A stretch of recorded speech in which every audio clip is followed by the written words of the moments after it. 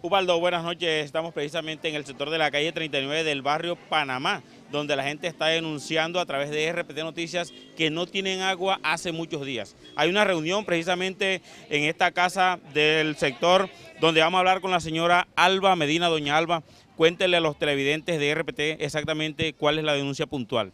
Bueno, la denuncia es que hacen 19 meses, años, perdón, venimos sufriendo una escasez de agua única.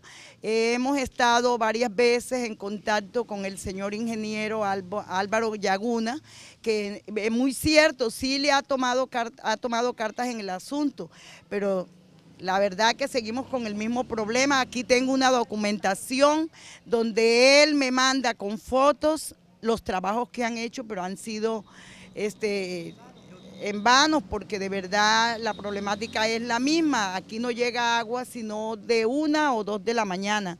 Pero nos cuentan ustedes también que hay camiones que se surten de agua aquí muy cerca. Bueno, este, en IDEMA eh, tenemos entendido que de IDEMA están saliendo camiones cargados de agua para los municipios